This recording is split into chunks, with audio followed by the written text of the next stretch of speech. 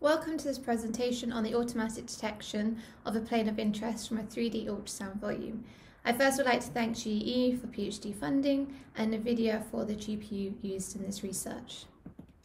The plane of interest is referred to by clinicians as the C-plane and it's the plane of shortest distance between the structure of the symphysis pubis, SP, which in this cartoon is roughly by the pubic bone, and the levator ani muscle, which is roughly by the pelvic floor muscle towards the coccyx and this plane is the plane of minimal hiatal dimensions. So the levator hiatus, which is this red dotted line, is very important and it's a biomarker used to diagnose pelvic floor disorder. Identifying this plane is all done manually and they manipulate a volume using 4D View software, which is from GE. And this can take a clinician two minutes onwards, depending on their own experience, patient pathology, and quality of an ultrasound. During one exam, they find the C-plane a minimum of three times at rest, contraction, and valsalva, and it's very time consuming. So automating this, there's a high clinical need for it. The pipeline we presented is as follows. We input a ultrasound volume into a pre-trained CNN regression model which identifies the SP and LAM extreme coordinates from the ultrasound volume. We do some simple post-processing to identify the vector between the two, and as we are automating this clinical procedure, we follow clinical guidelines. So we also know another vector that the C-plane must adhere to. So we can now find the final vector using cross-product calculation. And we now have three orthogonal vectors that define the C-plane. We can then sample our 2D plane at the midpoint between the symphysis pubis and the levator ani muscle. And then we get our 2D C-plane from a 3D volume. In order to train the CNN regression model, we use a dataset of 25 ultrasound volumes and corresponding ground truth data, which consists of SP and LAM extreme coordinate distance maps, which can be shown in this figure here.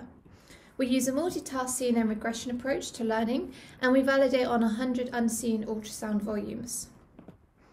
In order to gauge the performance of our pipeline, we decided to look at the two metrics, angular difference and Euclidean distance. So angular difference is how far our plane is in rotation terms compared to the gold standard, and Euclidean distance is how far in space they are at midpoint positions.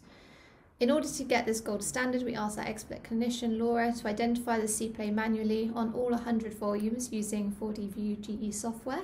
We then asked her to identify the C-plane again on a subset of volumes a month later to get intra-rate variability, and then we asked another clinician to identify the C-plane manually to get inter-rate variability. And what we found was is that our automatic approach, the blue box plot, actually lies within inter-rate variability for both metrics, suggesting that it should be clinically accepted. Other metrics we decided to look at to see whether our result is clinically acceptable or not is we developed a type of Turing test, a visual Turing test, where we asked a clinician to blindly rate two different images, one that was automatic and one from the golden standard. And what we found surprisingly is that the clinician actually identified the automatic result to be better performing than the golden standard for a selection of volumes. They were asked to rate the quality of the C-plane and the position of it in the volume.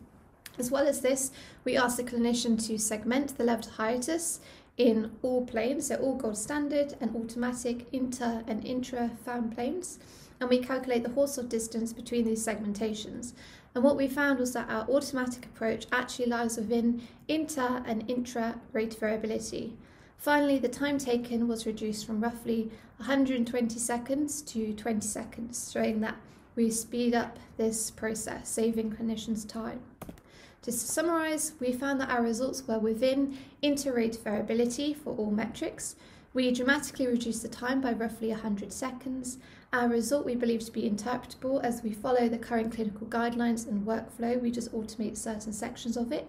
And this method is also easy to adapt. We've already added on segmentation of the levator hiatus, and we want to go further to even diagnose levator hiatus as unhealthy or healthy in future work. So thank you very much for listening and your attention. There'll be a demonstration at 1525 and I look forward to seeing you there.